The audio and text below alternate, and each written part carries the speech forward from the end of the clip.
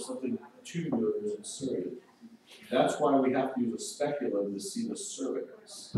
When we do that pap smear, that little duckbill looking metal or plastic speculum goes in and opens up this tube so that we can see the cervix right here. Notice how the uterus flexes over top of the urinary bladder. Here, ladies, is the urethra, the area from which urine flows. This is the vagina. Oh. Two separate holes. Yes. You do not pee out of your vagina. It's sad that I have to tell people this. A lot of people don't know that. Adult women who've had children, I've had to explain to them that urine does not come out of the vagina. Urine comes from here. Know, That's why if you pee right after intercourse, you think, oh, well, am I gonna wash all that sperm out? No. No, that's in here. Urine's getting out of here, vagina. Uterus. The uterus is only about three inches long in a nulliparous woman, a woman who's never been pregnant. That uterus is going to stretch to hold a baby. It's going to grow and grow and grow because it's stretching and stretching and stretching. Which means those muscular walls are getting thinner and thinner. And that is going to squeeze that baby out through here, through the baby, down through here, out of the body. So. Let's look at the female reproductive system. Let's look at it this way. Wait, no, it's this way. It's a little bit bigger. Oh, you know what, let's start on that side. and you can't see it sometimes, right? You can't see the um urethral me- medius, Hiatus, meatus. correct. So that's why they probably think that it comes out this big hole that we actually can't see. Correct. So Because look at the lo- look at the location. yeah, you can't see it. Here's the clitoral, uh, here's the clitoris. Here's the urethral meatus. Here's the vagina, at least the vaginal introitus. The labia majora are the thicker outer lips, the major, uh, no, no, I'm sorry. The labia minora are the thinner inner lips. Clitoris is right here, where these come together, creates the clitoral hood, or the prepuce, or skin. Opening to the urethra, where urine comes out is here, vagina is here, anus is here. This is the perineum. Just like in the male, we said the perineum was the area between the scrotum and the anus. Here is the perineum in the female.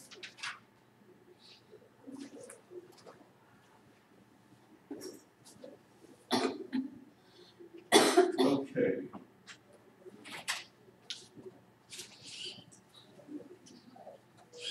There are two ovaries, these are the gonads. And the fallopian tube is suspended over near the ovaries. So what happens is, the ovaries make estrogen, estradiol, estrogen, and progesterone. And the ovaries contain follicles. And those follicles contain eggs. When she is born, a woman, female baby, has about twenty-five thousand immature eggs. I mean, before she's born, she has hundreds of thousands, but by the time she's born, she has about twenty-five thousand immature eggs. Each follicle contains these eggs, and over her lifetime, she will release four to five hundred of those eggs. So, this is an ovary. And we have that, she has these follicles. And each one of these, once a month, each one has an egg, about once a month, about five of those eggs will start to mature. And one will mature completely. And that follicle will rupture.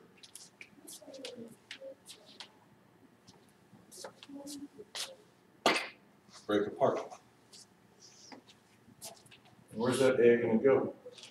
Fallopian tube. Fallopian tube. Just take this out of these, fallopian tube.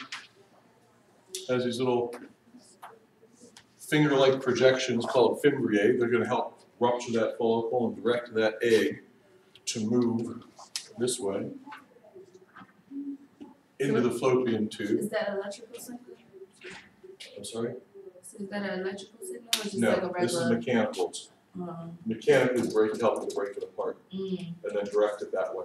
Wait, so you're making it look like it passes like through The the ovary membrane to The the, follicular membrane breaks open.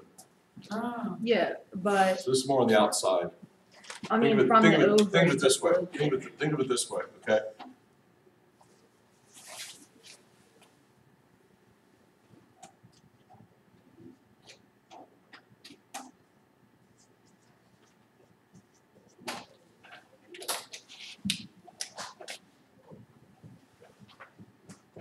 It's coming out. In three dimensions, think of it that way. Oh, that's how it So looks. this is like the surface, right? That's the surface of the ovary? Yeah, Oh, yeah, I see. so that just ruptures right there. So then it floats from the ovary to the fallopian tube? Yeah. With these little fimbriae doing this. I actually see. Just like I just the don't know airliners. I don't, I, like, I don't know how that's done. See, the ovary is not connected with the fallopian tube. I need like, a- I need like a pat with an ovary and stuff so that I can. see Yeah, it. it's I can't. I seen it like I've seen it done like as far as like a CT, not, not a CT scan, but like an ultrasound, ultrasound scan. So like it's it's not that big. They're not that big.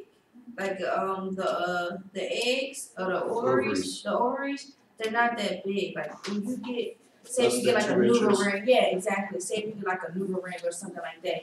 They check your ovaries and the size and the the, the width and I'm just stuff of confused it. this, the, the gap in between the two, how the egg still goes there instead of getting lost somewhere. Is it do this, come here, Annie. I'm just so, I, yeah, I just don't get Just that. like I thought jelly- it was just a like how jellyfish Now, attracts to their the prey. I, I have, instead I have a big gap here because I'm drawing it for effect. No, that's what I'm saying, like, and even in that picture, It's still for effect. so it's not actually. So it's more like this, so it's actually on, but it's not like this, like, but it's more like this.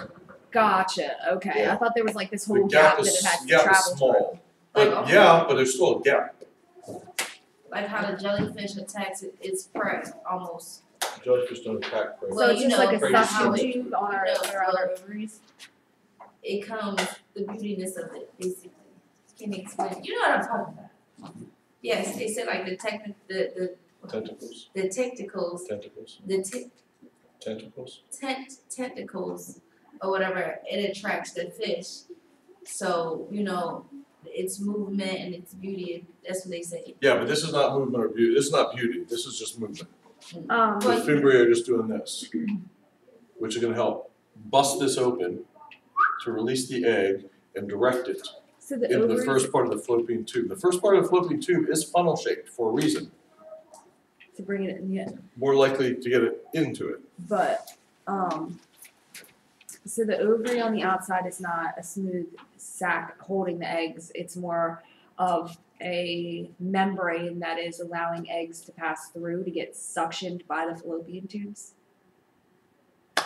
Is that not, is that a, a good understanding? No, follicles are on the ovary. Yeah, that's what I mean, like that's, so it's not, that's what I'm saying, so it's not just um like a sac holding Yeah, but, yeah, but think of it as like a very thin membrane here, like a, Yeah, almost like a, think of it like a blister, right?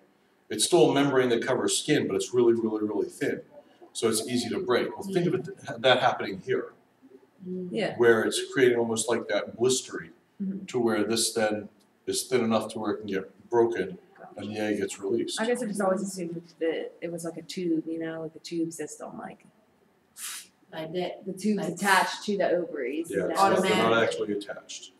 Gotcha. Mm-hmm. Yeah. Interesting. Yeah. Yeah, you hear me off with that. one. Yeah, and now this egg has to make its journey from here all the way down to here. Which is about five inches, takes about five days Okay. for the egg to make that journey.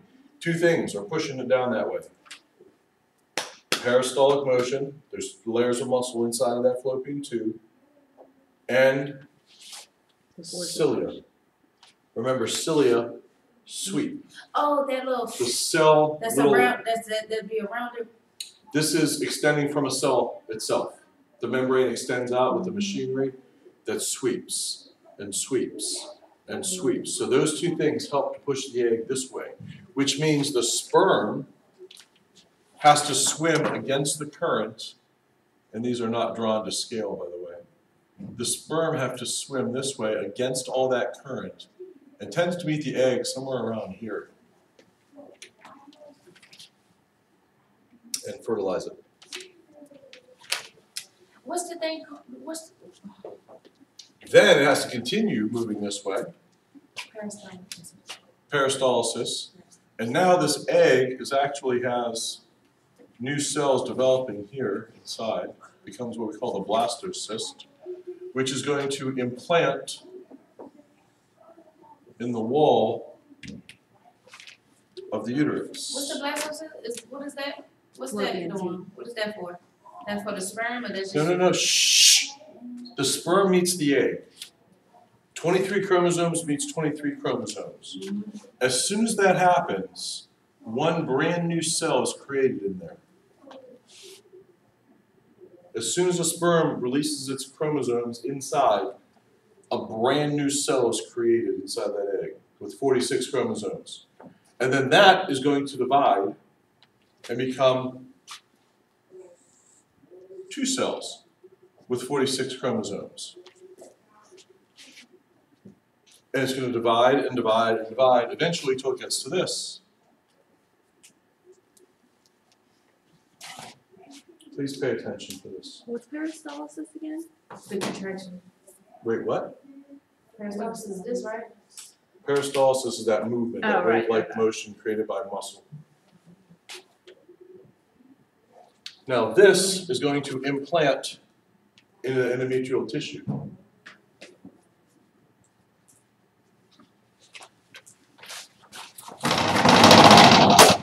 What's wrong? You look like you're confused. No, I've seen it. Well, it's right there. The endometrium explains it. Well, it shows you where it's at.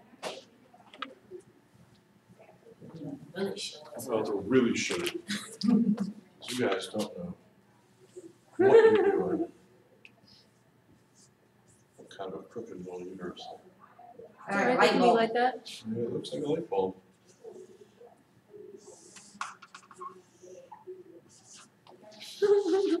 That's closer. Yeah, that's better. Yeah.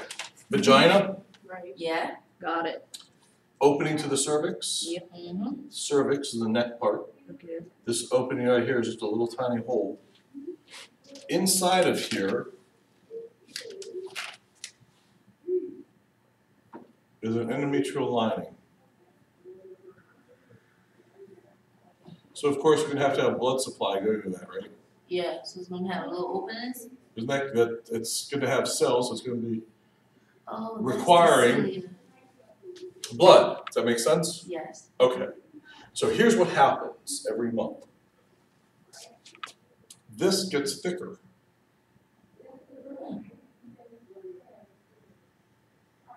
And it gets thicker Throughout the month. throughout the month. Which is increasing the amount of cells to increase the amount of tissue. If you increase the amount of tissue, you need to increase the amount of blood. If there's more tissue there, then we're gonna need a whole lot more blood going there.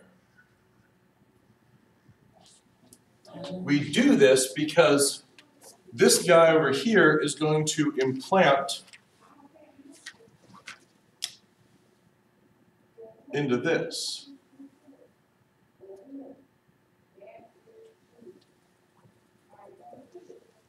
That's the egg, right?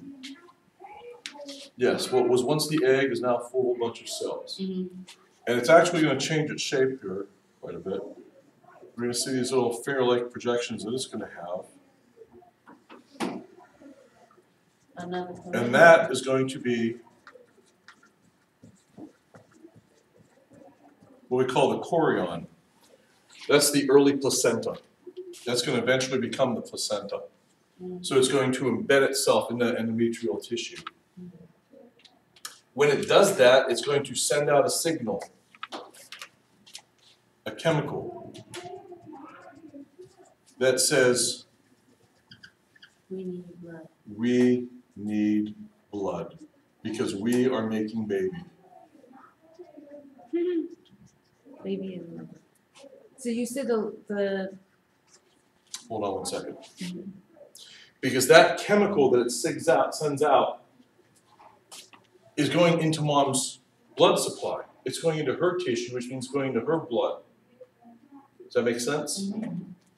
That chemical is called beta HCG, or human chorionic gonadotropin hormone. This is what the stick looks for when she pees on it. Mm-hmm. If she pees on the stick and this is present, that means it's been released from this, blood.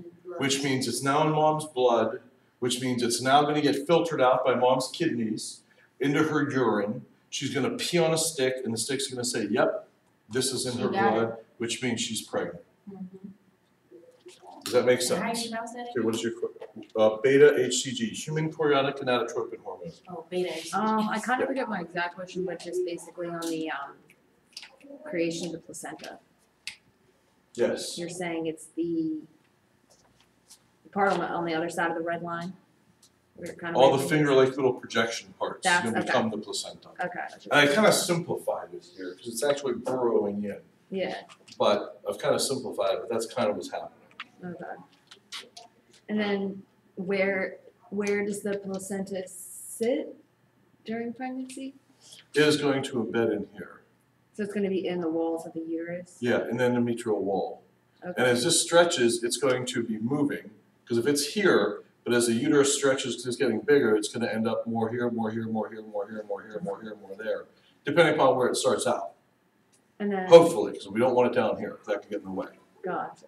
But yeah, it's going to event, it's gonna be embedded into the endometrium. And at what, what makes it come loose, I guess, during childbirth of what, Makes what makes it come out of the wall to be released and taken as afterbirth?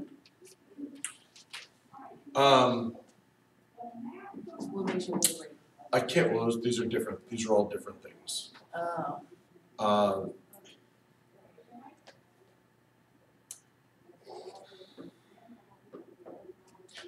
Understand that the menstrual cycle, which is a cycle continuous like this, right? Mhm. This is happening all the time. Right now, it's happening. When people say, "Oh, I'm not on my menstrual right now," yeah, you kind of are. You're on the cycle because it's a cycle.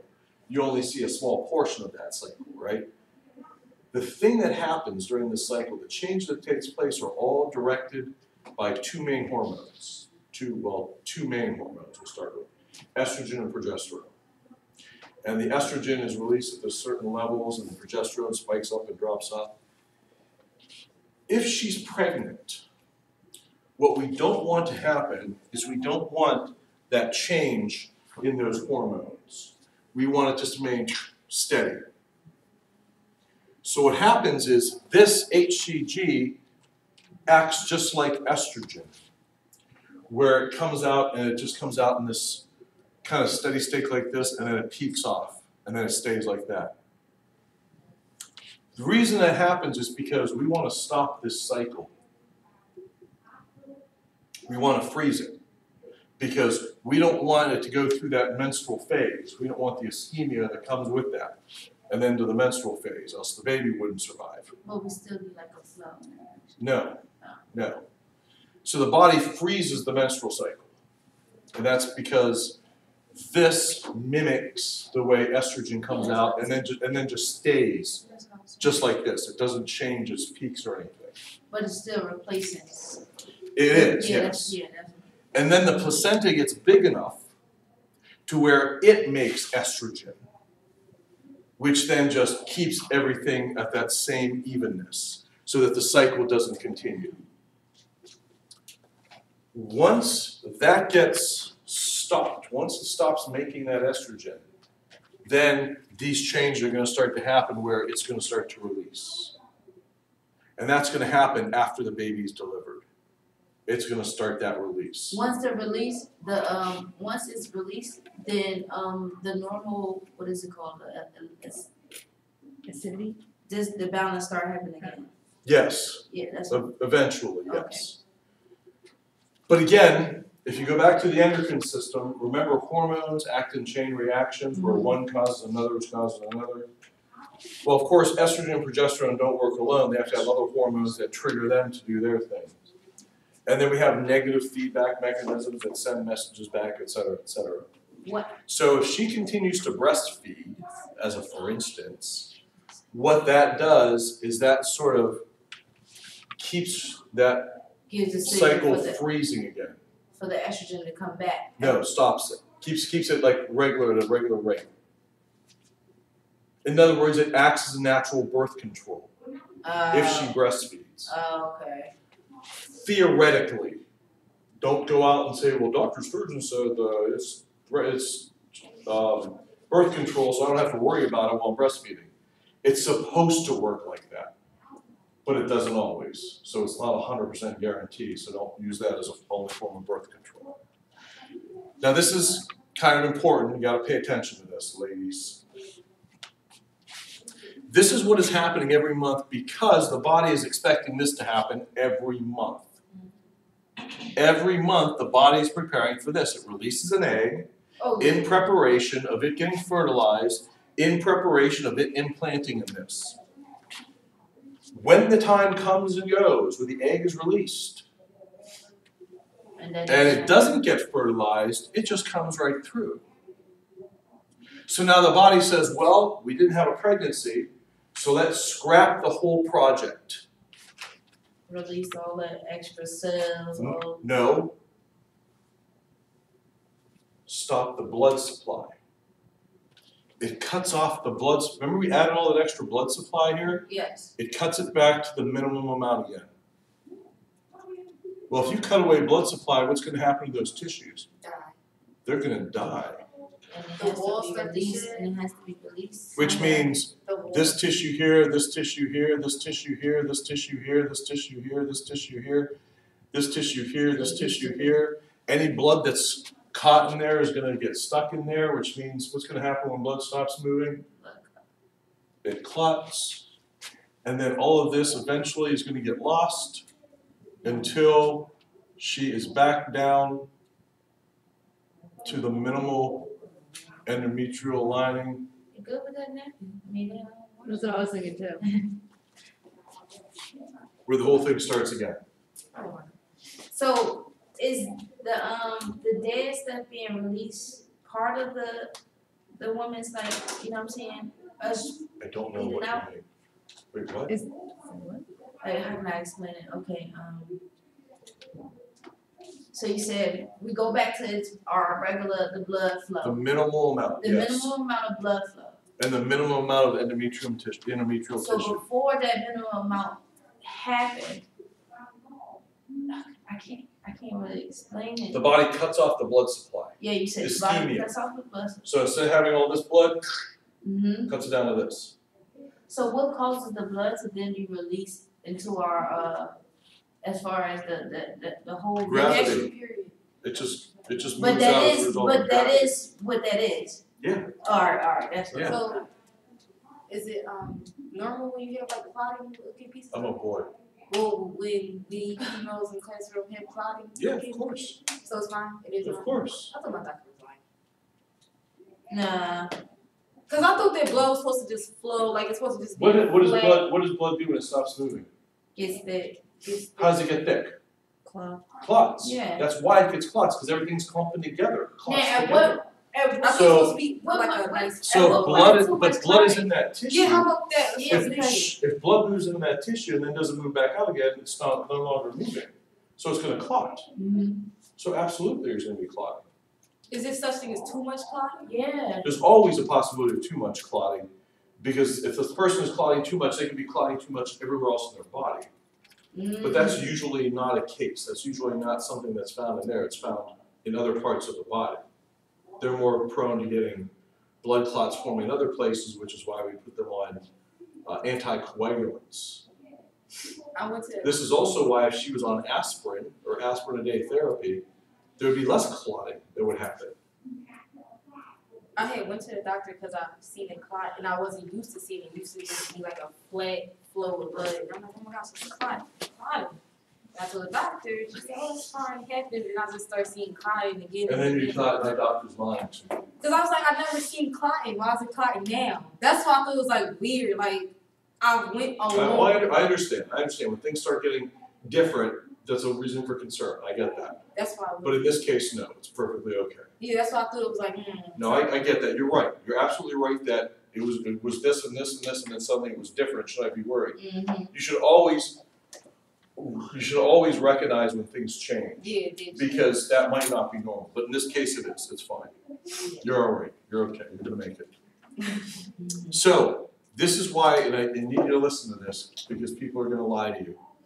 This is why women say, some women that you know have said that they had their period through their entire pregnancy. Well, they can't. If they had their period, that means it went through the ischemic phase, which meant it cut off the blood supply and reduced this to the minimum amount of tissue Which means you killed the baby. every single time. So that can't happen. Can there be bleeding? Of course there can. It's usually from the cervix here. But of course there can be bleeding, but that's not that's not period Is blood. that just ruptured in the capillaries? Like what would that be that the cervix would bleed a little? It could be, yeah. But it's not period blood. Women just think anytime blood's there, it must be period blood. No, it's just different type of bleeding. But it's not from her period. Does that make sense? Mm-hmm. Okay. This is also why your grandmother told you that this was the body's way of getting rid of waste and Yeah. garbage. I know she did. It's like I was sitting there with her. But I was not. Oh, it's just flushing out your insides, baby. Yes, exactly. Yes. Flushing out your insides, baby. So, here's the thing, here's where the question comes. What about if when a woman is on some sort of birth control medication that causes her to only have like one or two periods a year? People say, wasn't that bad? Because isn't that gonna build up all this? No, it's not bad because it freezes the process. So there's nothing else getting built up. So there's nothing else to get rid of Oh, okay. it just freezes it. Because remember I said it gets thicker and thicker and thicker throughout the, the month? Mhm. Well, it just freezes that process. So. So there's nothing to build up, so there's nothing to get rid of. Oh, okay. Does that make some sense? Yeah. No, it does. That's why I was scared to give him this type of birth control. Don't get- I'm Don't. I'm on here like every three You said months. don't get on? No, don't be afraid. Oh, Like every three months. And then I will come on for I another think three my months. body's doing what it's supposed to do, it's not what's changing its mind. Like But- four years. I'm doing that. But, but, if we alter hormones, doesn't that come with big side effects? Yeah, of course. Remember I said the hormones are chemical messes that we put into our blood and it goes to the cells, but it creates bigger effects and they last longer? Absolutely, so we know that hormones work in that chain reaction, so if we're stopping something in one place, we know Something two else. other places are gonna get affected by it somehow, and they're gonna be bigger, longer lasting side effects, we know this. And you know this. They can come in the form of everything from um, weight gain to hair loss to acne and mood changes. Because again, these hormones also affect The neurotransmitters that are up here. Yeah, exactly. So we can see we can see those, we can expect those. The idea is, well, the side effects are short term, they're not always Yeah, how much, yeah. Babies last forever and they are severe. Inexpensive. Yes. I mean, look at us. That's how we started out. Yes. Look how expensive we are. Yeah, that's true.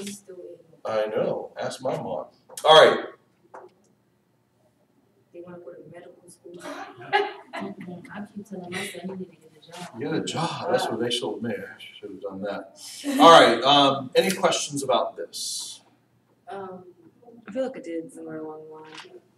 I had a question, but it's more about the birth control, so I guess I can wait. Okay, um, every month, about five of those eggs are gonna come to maturity, but only one's actually gonna get ruptured out of the follicle and leave. What happens if two eggs, Fraternal twins. fraternal twins? That's not what's supposed to happen, only one is supposed to be released. This is mom's body making a mistake to get released. What happens if the sperm meets the egg here and the egg starts to fertilize and grow did and we grow do? here? Well, that's an ectopic. That's an pregnancy. ectopic pregnancy. Is it gonna grow to a complete baby here? No. Why not? Not enough room. Not More enough room, nourishment. not enough nutrients. This here is the area designed for baby growth. That's designed to send more blood supply. It's designed to stretch. This is not. What if it gets fertilized and stuck right here? Oh, definitely The fallopian tube. converts. Ectopic pregnancy. It's still an ectopic pregnancy. This is what people call tubal pregnancy, but it's still mm-hmm. ectopic. Again, because this root, there's not enough room, there's not enough blood supply, it's not supposed to grow there. Now, a couple of years ago, if you'd asked me, well, what if they caught it here, could they transfer it here? I would have said no, a couple of years ago. Now, however, they do have some technology where if they catch it at the right time, they could actually attempt to do that. And I've, I've read about some success, which is pretty amazing. Yeah. I don't think I would want it. But I would be, I would be careful, I would be carefully optimistic about doing a procedure like that because you're really still hoping for a lot of things. I would say you're more likely to have a miscarriage or a, we'd say a spontaneous abortion, but you guys would say a miscarriage, right? Or like birth defects, right? That's what I was thinking, we're like, the Possibly, maybe it's not, maybe it doesn't get all the blood supply you're thinking. Possibly, or maybe it didn't get the blood supply it needed early on and now it's already developed some of those things and now it's too late. Possibly, yeah. That's how I would want it.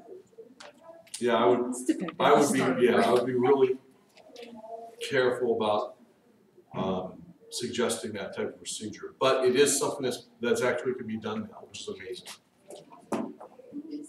It is. Okay, what else here? HCG, you know that now, human chorionic gonadotropin hormone.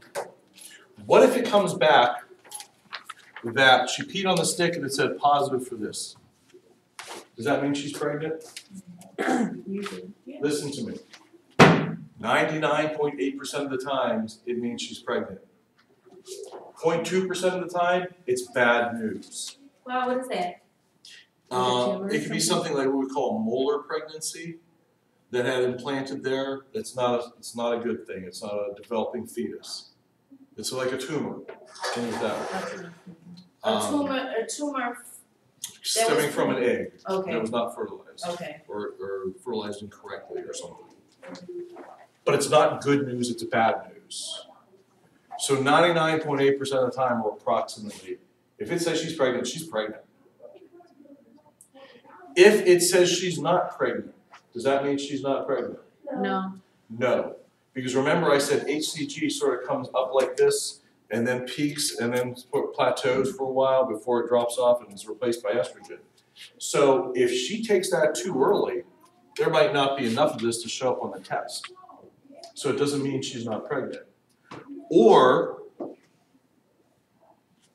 she's pregnant here and there's just not enough HCG getting into the blood to show up that I was she's gonna say, I pregnant. thought, I thought you could still, still, uh, see that you were pregnant through another. Yes, but it's usually later Mhm, and it's with less amount of HCG.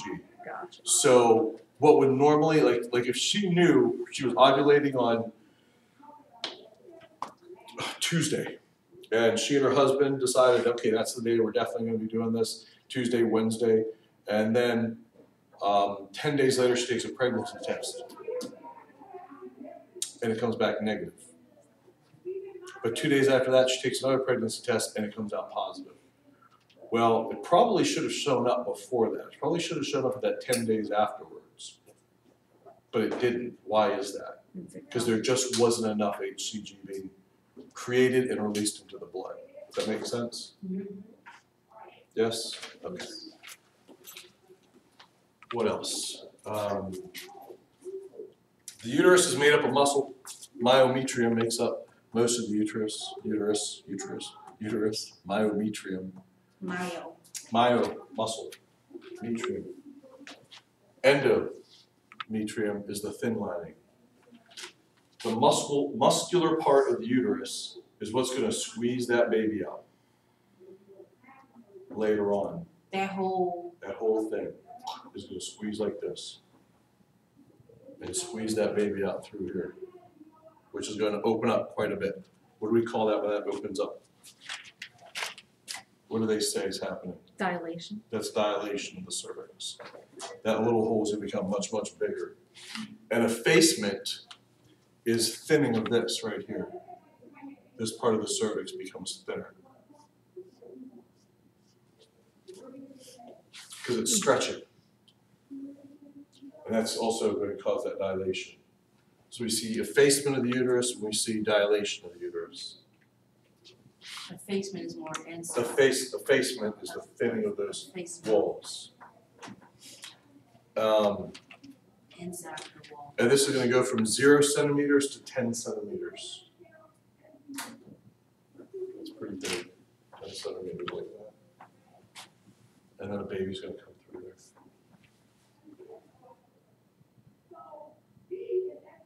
Okay. Uh, the uterus has its own ligament that attaches it. The fallopian tubes have their own ligaments, the ovaries have their own ligaments. But then all of it is attached with what's called the broad ligament. Kind of looks like a bat wing. And this is helpful because if I'm doing a bimanual exam and I push the cervix upwards, the uterus is gonna get pushed upwards, like towards the surface, and that's gonna bring everything else up with it. Does that make sense? Mm, mm. So then I can feel with my other hand It don't any abnormalities or look for tenderness. it's not necessarily like like completely moving it back. It's just like moving the stuff like like this. like towards not the like surface. this, but like Because remember, the uterus is tilted this way over the urinary bladder. So all I'm doing is I'm taking it and pushing it this way, so more towards the surface. Does that make sense? Mm-hmm. Okay, questions about this? No questions about the menstrual cycle, You pregnancy, delivery? Okay, how long is a normal pregnancy? thirty-eight to forty-two weeks, Yep, basically. which makes the average forty. That's how they come up with that number. But look at that, there's a four-week span there. So when a woman says, my baby was three days late, So three days late from what? An estimated delivery date. It's just a guess. It's just a guess based on approximates.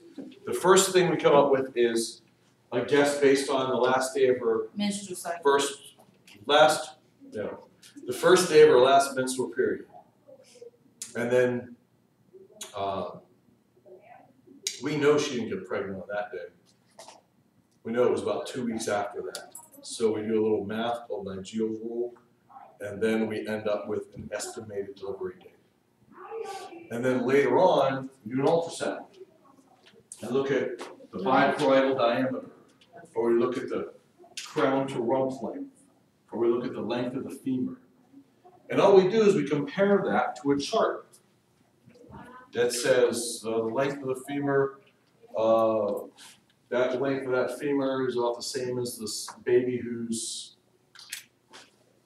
thirteen weeks pregnant, thirteen weeks developed. Well, we thought it was fourteen weeks based on our math, so maybe it is only thirteen weeks. Or maybe it's sixteen weeks, we thought it was fourteen weeks. So now we change the due date based on those things. But again, it's just an estimate, because some babies are gonna be bigger, some are gonna be smaller. Because we're humans. We're different sizes. Some of us are perfect sizes. Oh, perfect, with perfect hair. hmm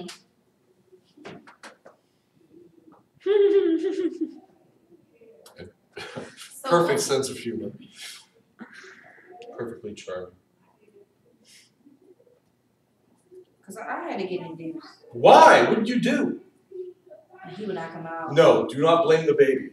Remember, the baby. I had a lot, see, the thing the was, baby I, has nothing to I do had with enough this. fluid, I had enough, every, I had enough fluid to last a, a, a, a whole another week, but they don't allow, allow for babies to stay in that long. My due date was originally supposed to be September the first, he came out September, well, he was forced out, well, he had to come out September the twelfth. That's, a- that's, that That's is a the- long that time, is yes. that Yeah, is you're the pushing, front. you're pushing it Yeah, down. exactly, because of the But, fluid but that I had. why did you do that? I, why did I what, get induced? Why didn't your uterus push the baby out when it was supposed to? What, did I, why did I have to have a C-section? I don't know, Are why you asking me? your baby, you should have pushed the baby out sooner, Yeah, but I wasn't dilating at but all. you should have, why not? I don't know. Were you not concentrating? Uh, yeah, I mean, yeah, I wanted to come out. How do you concentrate on your cervix dilating? he, oh, you saying like that? Oh no, but I don't. I just he, I wasn't dilating at all. Yeah, please don't blame the baby. Baby has nothing to do with the delivery at all. not, I'm not blaming him. You did, you just said. Other than whether or not the baby's ready? Yeah, it's never the baby's fault. It's the mom's fault. but what what what caused me to not dilate? Like I have no what would cause somebody to not dilate? No idea. Especially if they're still going through the active phase as far as contraction and all of that, you know, the baby is fine or whatever, the heartbeat is normal and stuff. Yeah. But it's like no dilation going on at all. You Like I was only at like two or three. That's it. And I was there from eight in the morning till August. Well, I was there from September the eleventh till when he came out, which was like twelve o'clock, um, September the twelfth. I've never Yeah, it seen was like um nothing was going on. Nothing but contractions. They try to dilate you, cervical or anything like that, they put anything inside to help it dilate. I, well, they, they don't know. don't, they did, they did, uh, they the one who busted my, um, my mucus plug. But other than that, Just grows and grows and grows. What happens to everything in here? It all shrinks It up towards the diaphragm, right? Yeah, it get, it gets pushed up to the side, some down a little bit. Everything gets pushed around. And there's something in particular that gets pushed upwards, The intestine. the stomach. Oh, right. The stomach gets pushed upwards. So it's That's getting how it squeezed like in this. This right here is the lower esophageal sphincter, that muscular doorway. This is getting squeezed like this, so it's causing that doorway to open up. Which is Oh, causing well, stomach acid acid to go from the reflux. stomach up into the esophagus, Gotcha. which causes Acid- heartburn. uh, Heartburn, yeah. It has nothing to do with the baby having hair. oh no. Babies are covered with hair oh my god. before they're born. Period, period, they say, Uh, period. They be so hype. What are you doing? That doesn't go there. I've done the church game in the big church. Okay, whatever. So. So that's why she has heartburn. Are you passing up to sign the leave? Oh my god, what the heck? Where were your insurance? Where were learning? I thought we had like a half hour left. No, we- Um, no. Wow. You were learning. You were teaching. learning, I was teaching, I teach my butt off. Oh, yeah. I could teach, I I did a really great job. Good You're job. welcome. Props. Thank you. Woo! Alright, um, so this was the last day of medical terminology.